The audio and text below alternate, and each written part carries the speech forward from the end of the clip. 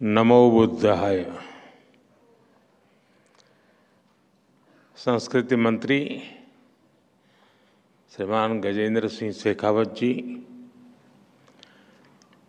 minority affairs minister Shri Kiren Rijiju ji, Bhante Bhadant Rahul Bodhi Mahathero जी बेनेरेबल चांगचूप छौदेन जी, महासंघ के सभी गणमान्य सदस्य, एक्सलेंसीज डिप्लोमेटिक कम्युनिटी के सदस्य, बुद्धिस्ट स्कॉलर्स धम्म के अनुयायी, देवी और सज्जनों आज एक बार फिर मुझे अंतर्राष्ट्रीय अभिधम्म दिवस के कार्यक्रम में शामिल होने का सौभाग्य मिला है। अभिधम्म दिवस हमें याद दिलाता है कि करुणा और सद्भावना से ही हम दुनिया को और बेहतर बना सकते हैं। इससे पहले 2021 में कुशीनगर में ऐसा ही आयोजन हुआ था। वहाँ उस आयोजन में भी मुझे शामिल होने का सौभाग्य मिला था। और ये मेरा सौभाग्य है कि भगवान बुद्ध के साथ जुड़ाव की जो यात्रा मेरे जन्म के साथ ही शुरू हुई है, वो अनवरत जारी है। मेरा जन्म गुजरात के उस वड़नगर में हुआ, जो एक समय बौद्ध धर्म का महान केंद्र हुआ करता था। उन्हीं प्रेरणाओं को जीते जीते मुझे, बुद्ध के, धम्म और शिक्षाओं के प्रसार के इतने सारे अनुभव मिल रहे हैं। पिछले दस वर्षों में भारत के ऐतिहासिक बौद्ध तीर्थ स्थानों से लेकर दुनिया के अलग अलग देशों तक। नेपाल में भगवान बुद्ध की जन्मस्थली के दर्शन, मंगोलिया में उनकी प्रतिमा के अनावरण से लेकर श्रीलंका में वैशाख समारोह तक।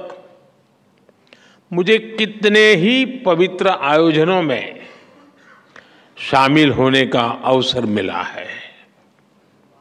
मैं मानता हूँ, संघ और साधकों का ये संग ये भगवान बुद्ध की कृपा का ही परिणाम है। मैं आज अभिधम दिवस के इस अवसर पर भी आप सभी को और भगवान बुद्ध के सभी अनुयायियों को अनेक अनेक शुभकामनाएँ देता हूँ।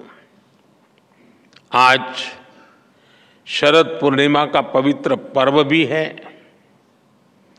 आज ही भारतीय चेतना के महान ऋषि वाल्मीकि जी की जन्म जयंती भी है। मैं समस्त देशवासियों को शरद पूर्णिमा और वाल्मीकि जयंती की भी बधाई देता हूँ। आदरणीय साथियों, इस वर्ष अभिधम्म दिवस के आयोजन के एक साथ एक ऐतिहासिक उपलब्धि भी जुड़ी है। भगवान बुद्ध के अभिधम, उनकी वाणी, उनकी शिक्षाएँ जिस पाली भाषा में ये विरासत विश्व को मिली है, इसी महीने भारत सरकार ने उसे क्लासिकल लैंग्वेज शास्त्रीय भाषा का दर्जा दिया है। और इसलिए आज ये अवसर और भी खास हो जाता है। पाली भाषा को क्लासिकल लैंग्वेज का ये दर्जा, शास्त्रीय भाषा का ये दर्जा, पाली भाषा का ये सम्मान, भगवान बुद्ध की महान विरासत का सम्मान है। आप सभी जानते हैं, अभिधम्म धम्म के निहित है। धम्म को, उसके मूल भाव को समझने के लिए पाली भाषा का ज्ञान आवश्यक है। धम्म यानी बुद्ध के संदेश, बुद्ध के सिद्धांत। धम्म यानी मानव के अस्तित्व से जुड़े सवालों का समाधान। धम्म यानी मानव मात्र के लिए शांति का मार्ग। धम्म यानी बुद्ध की सर्वकालिक शिक्षाएँ। और धम्म यानी समूची मानवता के कल्याण का अटल आश्वासन। पूरा विश्व भगवान बुद्ध के धम्म से प्रकाश लेता रहा है। लेकिन साथियों, दुर्भाग्य से पाली जैसी प्राचीन भाषा, जिसमें भगवान बुद्ध की मूल वाणी है, वो आज सामान्य प्रयोग में नहीं है। भाषा केवल संवाद का माध्यम भर नहीं होती। भाषा, सभ्यता और संस्कृति की आत्मा होती है। हर भाषा से उसके मूल भाव जुड़े होते हैं। इसलिए भगवान बुद्ध की वाणी को उसके मूल भाव के साथ जीवंत रखने के लिए पाली को जीवंत रखना ये हम सबकी ज़िम्मेदारी है।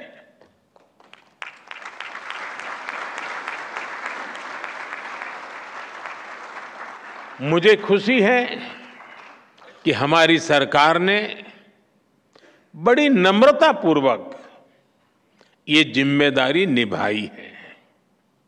भगवान बुद्ध के करोड़ों अनुयायियों को, उनकी लाखों भिक्षुकों की अपेक्षा को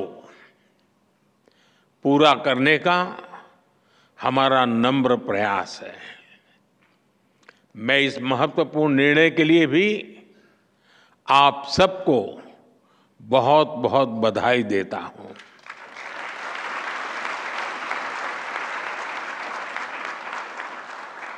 आदरणीय साथियों,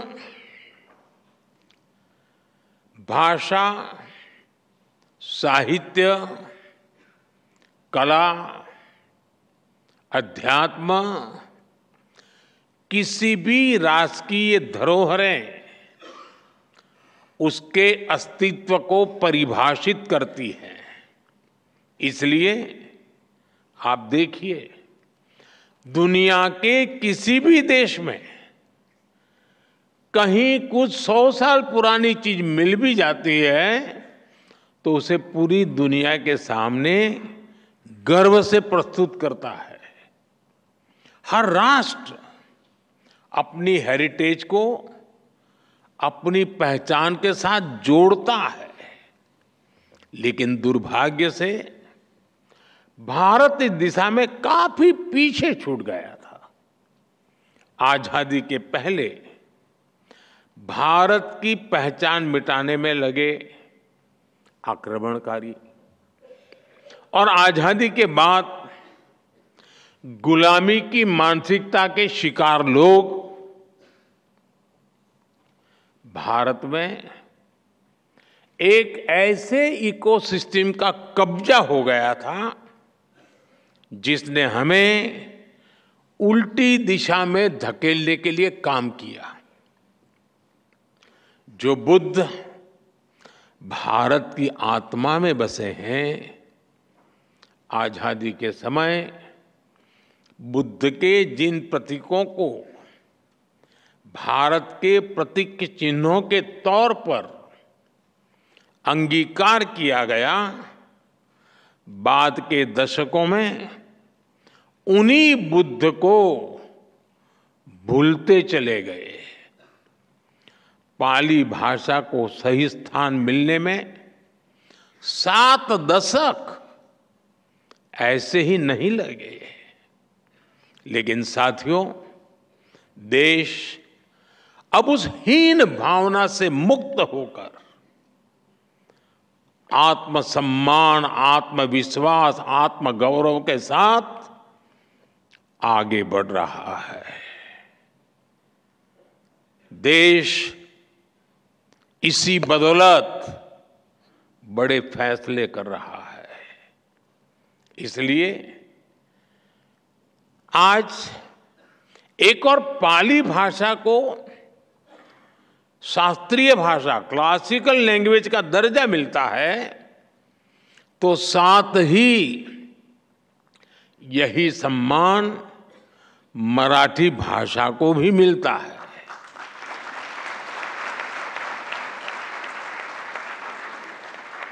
और देखिए कितना बड़ा सुभग संयोग है कि बाबा साहब आम्बेडकर से भी ये सुखद रूप से जुड़ जाता है। बौद्ध धर्म के महान अनुयायी हमारे बाबा साहब आम्बेडकर पाली में उनकी धम्म दीक्षा हुई थी। और वो स्वयं उनकी मा, मातृभाषा मराठी थी। इसी तरह हमने बांग्ला असमिया और प्राकृत भाषा को भी शास्त्रीय भाषा क्लासिकल लैंग्वेज का दर्जा दिया है।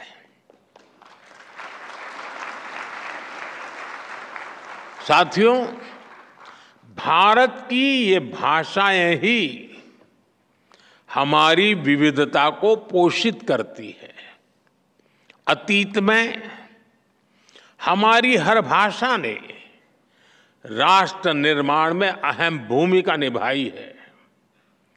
आज देश ने जो नई राष्ट्रीय शिक्षा नीति अपनाई है, वो भी इन भाषाओं के संरक्षण का माध्यम बन रही है। देश के युवाओं को जब से मातृभाषा में पढ़ाई का विकल्प मिला है, मातृभाषाएँ और ज़्यादा मज़बूत हो रही है।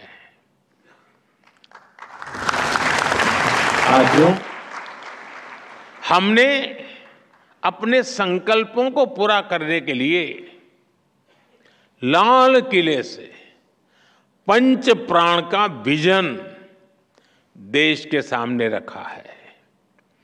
पंच प्राण यानी विकसित भारत का निर्माण, गुलामी की मानसिकता से मुक्ति, देश की एकता, कर्तव्यों का पालन और अपनी विरासत पर गर्व।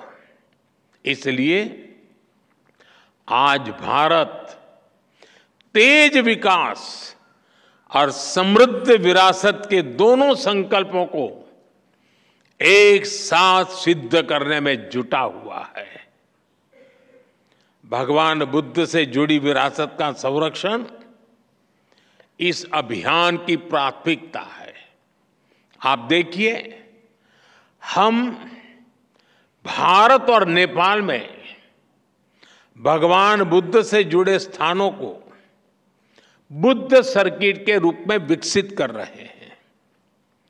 कुशीनगर में इंटरनेशनल एयरपोर्ट भी शुरू किया गया है।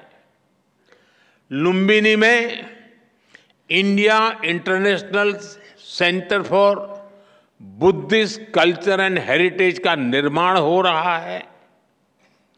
लुम्बिनी में ही बुद्धिस्ट यूनिवर्सिटी में हमने doctor Baba Saheb Ambedkar chair for Buddhist studies की स्थापना भी की है।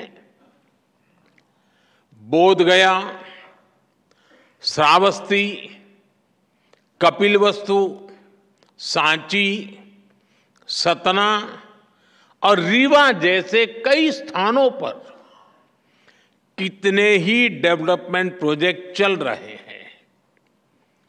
तीन दिन बाद 20 अक्टूबर को मैं वाराणसी जा रहा हूँ, जहाँ सारनाथ में हुए अनेक विकास कार्यों का लोकार्पण भी किया जाएगा।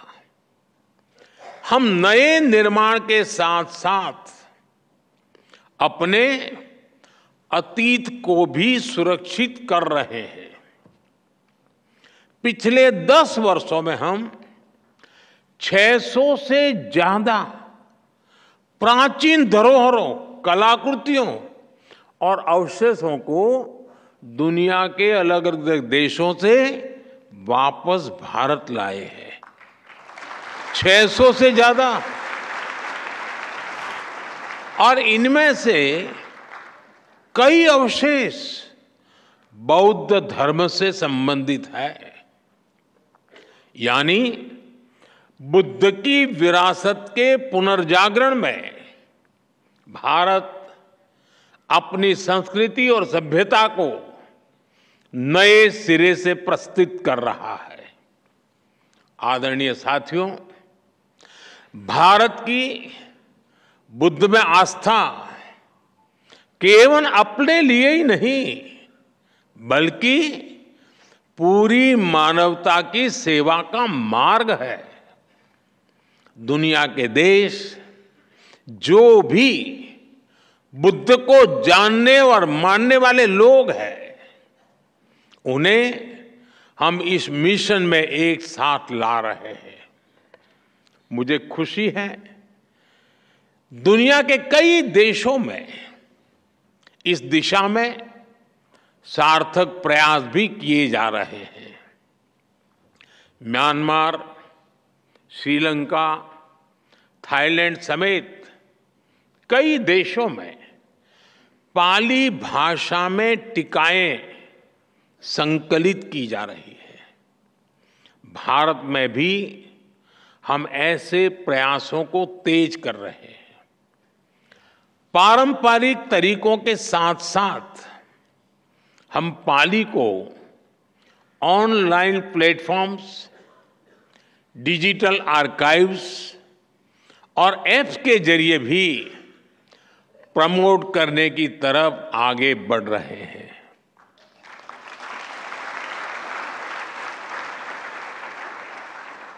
भगवान बुद्ध को लेकर मैंने पहले भी कहा है, बुद्ध बोध भी है और बुद्ध शोध भी है। इसलिए हम भगवान बुद्ध को जानने के लिए आंतरिक और एकेडमिक दोनों तरह की रिसर्च पर ज़ोर दे रहे हैं। और मुझे खुशी है कि इसमें हमारे संघ हमारे बौद्ध संस्थान, हमारे भिक्षुगण इस इस दिशा में युवाओं का मार्गदर्शन कर रहे हैं। आदरणीय साथियों 21वीं सदी का ये समय, आज विश्व की जियो पॉलिटिकल परिस्थिति, आज एक बार फिर विश्व कई अस्थिरताओं और आशंकाओं से घिरा है। ऐसे में बुद्ध न केवल प्रासंगिक है, बल्कि अपरिहार्य भी बन चुके हैं।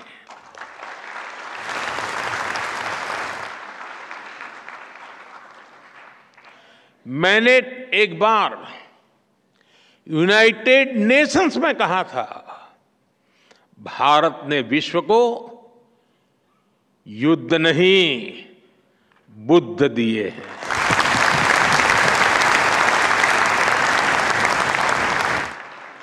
और आज मैं बड़े विश्वास से कहता हूँ, पूरे विश्व को युद्ध में नहीं, बुद्ध में ही समाधान मिलेंगे।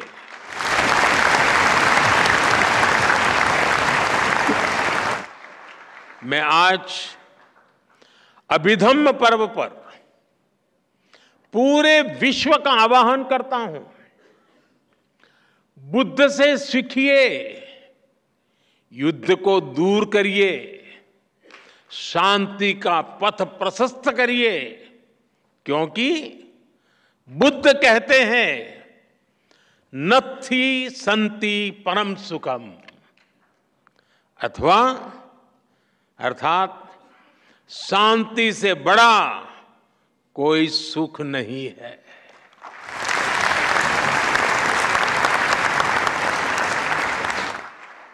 भगवान बुद्ध कहते हैं, नहीं वैरेन वैरानी सम्मति कुदाचनम अवैरेन च सम्मति एस धम्मो सनंततो वैर से वैर दुश्मनी से दुश्मनी शांत नहीं होती। वैर अवैर से मानवीय उदरता से खत्म होता है। बुद्ध कहते हैं, भवतु सब मंगलम, यानी सबका मंगल हो, सबका कल्याण हो। यही बुद्ध का संदेश है, यही मानवता का पथ है। आदरणीय साथियों 2047 तक के ये 25 वर्ष का कार्यकाल इस 25 वर्ष को अमृत काल की पहचान दी है। अमृत काल का ये समय भारत के उत्कर्ष का होगा।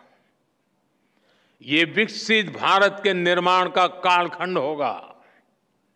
भारत ने अपने विकास का जो रोडमैप बनाया है, उसमें भगवान बुद्ध की शिक्षाएँ हमारा पथ प्रदर्शन करेगी। ये बुद्ध की धरती पर ही संभव है कि आज दुनिया की सबसे बड़ी आबादी संसाधनों के उपयोग को लेकर सजग है। आप देखिए, आज क्लाइमेट चेंज के रूप में इतना बड़ा संकट दुनिया के सामने है। भारत इन चुनौतियों के लिए न केवल खुद समाधान तलाश रहा है, बल्कि उन्हें विश्व के साथ साझा भी कर रहा है हमने दुनिया के कई देशों को साथ जोड़कर मिशन लाइफ शुरू किया है।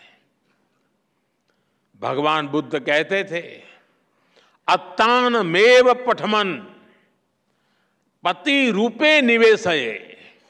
अर्थात, हमें किसी भी अच्छाई की शुरुआत स्वयं से करनी चाहिए।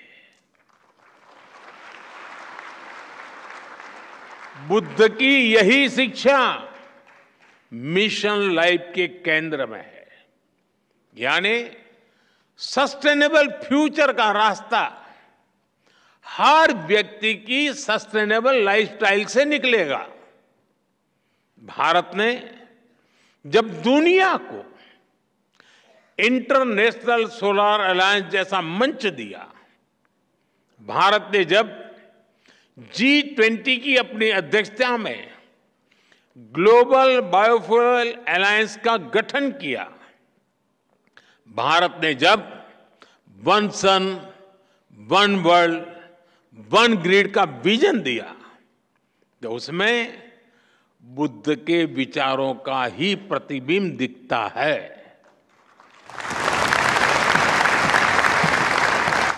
हमारा हर प्रयास दुनिया के लिए सस्टेनेबल फ्यूचर को सुनिश्चित कर रहा है।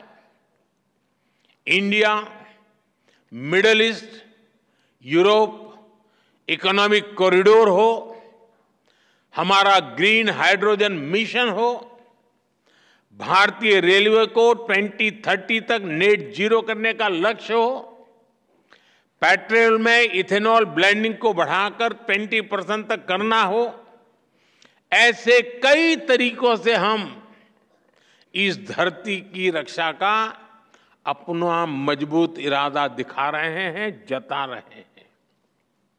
साथियों, हमारी सरकार के कितने ही निर्णय, बुद्ध, धम्म और संघ से प्रेरित रहे हैं। आज दुनिया में जहाँ भी संकट की स्थिति होती है वहाँ भारत फ़र्स्ट रिस्पॉन्डर के रूप में मौजूद रहता है।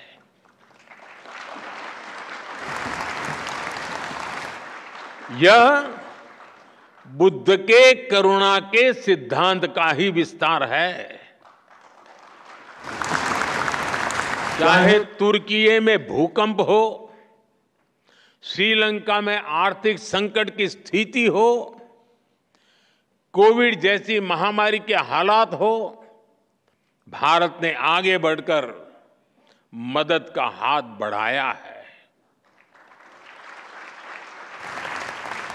विश्व बंधु के रूप में भारत सबको साथ लेकर चल रहा है। आज योग हो या मिलेट से जुड़ा अभियान, आयुर्वेद हो या नेचुरल फ़ार्मिंग से जुड़ा अभियान। हमारे ऐसे प्रयासों के पीछे भगवान बुद्ध की भी प्रेरणा है। आदरणीय साथियों, विकसित होने की तरफ़ बढ़ रहा भारत अपनी जड़ों को भी मज़बूत कर रहा है। हमारा प्रयास है कि भारत का युवा साइंस और टेक्नोलॉजी में विश्व का नेतृत्व करे। और साथ ही हमारा युवा अपनी संस्कृति और अपने संस्कारों पर भी गर्व करे। इन प्रयासों में बौद्ध धर्म की शिक्षाएँ हमारी बड़ी मार्गदर्शक है। मुझे भरोसा है, हमारे संतों और भिक्षुकों के मार्गदर्शन से भगवान बुद्ध की शिक्षाओं से हम सब साथ मिलकर निरंतर आगे बढ़ेंगे। मैं आज के इस पवित्र दिवस पर इस आयोजन के लिए आप सभी को एक बार फिर अनेक अनेक शुभकामनाएँ देता हूँ।